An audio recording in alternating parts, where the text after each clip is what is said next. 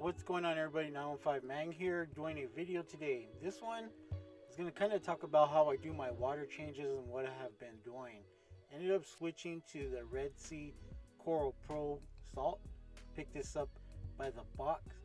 And by the box it does about 160 gallons worth of uh, water changes. So does the uh, Reef Crystals bucket that I'm using. Also does about 160 gallons of uh, water changes. Uh, ended up deciding I was going to go ahead and change it up. Um, I've been using Instant Ocean for quite a long time, and to be honest, I think it's uh, just fine. But I wanted to try out the Coral Pro Salt as far as uh, getting my tank back in shape. I know there's a lot of people that also use the Coral Pro, um, the Red Sea Blue Bucket. Um, if you use the Blue Bucket, versus the Coral Pro, let me know. The reason why I went with the Coral Pro uh, is supposed to be a little bit better and it's about the same price as the Red Sea Blue Bucket. So I was already out of the Instant Ocean Reef Crystals. So what I did is I just went ahead and recycled my bucket, got a piece of green tape, painter's tape and labeled it Red Sea Coral Pro so that I know. Uh, one thing about the uh, Red Sea Coral Pro is you gotta kind of mix it up, and uh, you gotta best way to do it is by weighing it. So I got myself a scale. I'm gonna show you exactly how to use it, the uh, little bit of formula of what your salinity needs to be at for the point 1.025 that us reefers use. Um, bef before I do that, I use a regular cup like this this is what I would use to mix, mix my instant ocean up but uh, now that I went to Red Sea Coral Pro I gotta go ahead and weigh it. So it's 148 grams per gallon right? So what you do is you put your cup on the uh, scale make sure you hit tare. Tare will subtract the weight of the cup and then from there you can go ahead and scoop it into the, your uh, salt mix, which is the Red Sea Coral Pro. So it ends up being 740 grams per 500, 5 gallons of um, water. So if you're doing a 20 gallon water change, it equals times 740 grams equals to 2,960. So what I ended up doing is I scoop it once I scoop it, that came out to 753.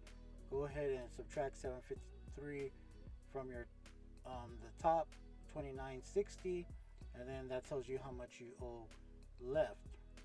See, that one came out to 527. Do the same thing, and it'll tell you how many more grams of uh, salt you need to mix into your water you keep doing that until you get to however many gallons that you're mixing. In this case, I'm doing 20 gallons. So like I said, I needed the 2,960 grams. So this is what it looks like. Um, at first, when I started doing it, I would just write it down on paper, but now I just do it on my phone and I just subtract it from there. For me, this is a lot more work than doing it with the reef crystals but if you use a scale and you weigh it, your salinity comes out spot on. I actually have two brute containers. This is a 30 something gallon brute container with the wheels on the bottom so you can roll around real easily. And then I have a 20 gallon brute container uh, which I use as my wastewater.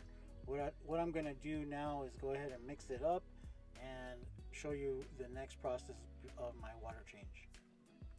I've also put numbers in five gallon in increments.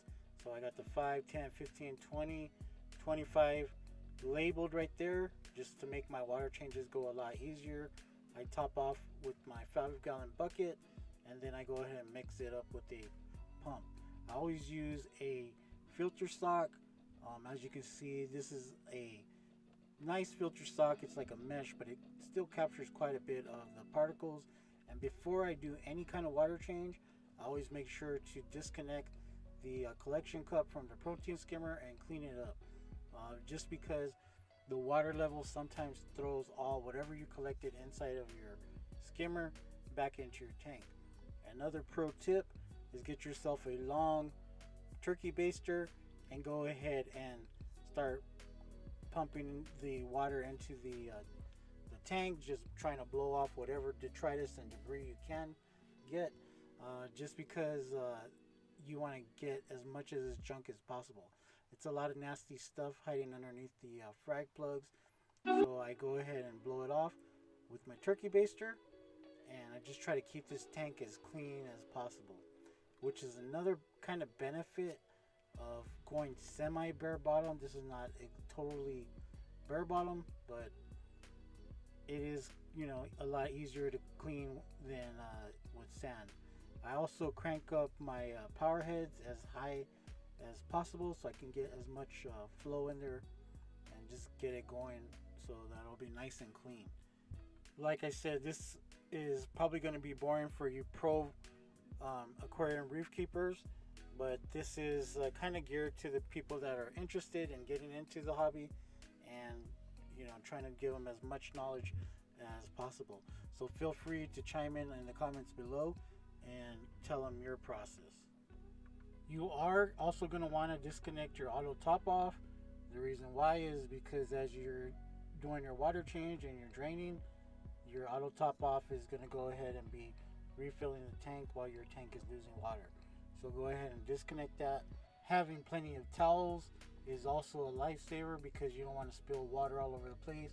You want to be able to quickly dry anything in case you do spill it another thing to do is get those clips they're little clamps so that way you can attach hoses securely you don't want to leave anything draining pouring without those clamps because you don't want to walk away from your tank as you're draining or filling anything up. Well guys, I hope you liked this video. It was a short, simple, and sweet video.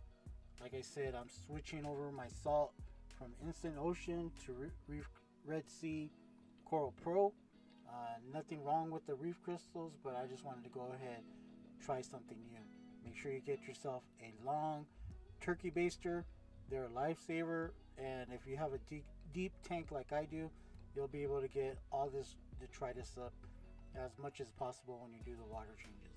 You can get them pretty cheaply on Amazon, and if you have a nano, this thing will be more than enough. Thanks guys, you guys take it easy. Make sure you like and subscribe, and share this video with somebody.